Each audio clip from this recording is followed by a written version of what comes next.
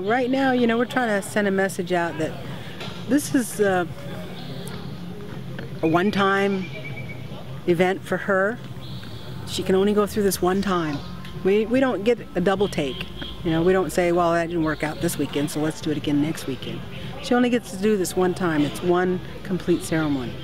And in doing this, it's like, I'm hoping that people will realize that, uh, you know, they have daughters and the things that they want for their kids is what we want. You know, good things to happen for them, good ways of living their life, things put down in a nice way that they can pick it up and say, you know, this is what makes me a good person.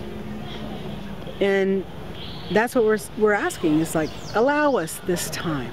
This is such a short little tiny piece of the lake.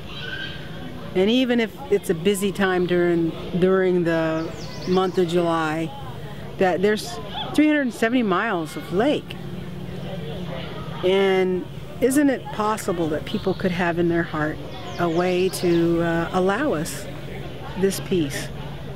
You know, we don't want to have to fight with people. We don't want to have to do anything uh, but to ask, can we do this? Can we do this in peace and harmony, uh, peace and dignity, without people getting mad about it? I'm not even I don't even understand why they get mad about it. Don't they have kids? Don't they have young people? Don't they have young women in their in, in their tribes? Well, what they used to be tribes. but in their families that they would want that. And that's what we're asking that understanding to be. You know, what if it was your daughter?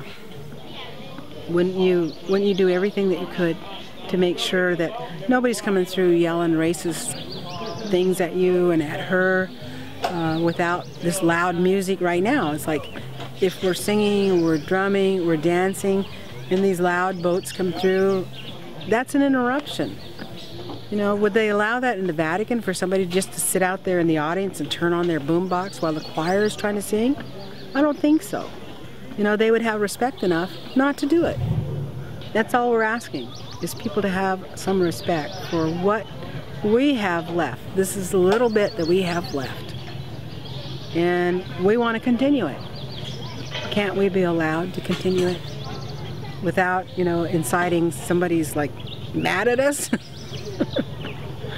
you know, so that's it.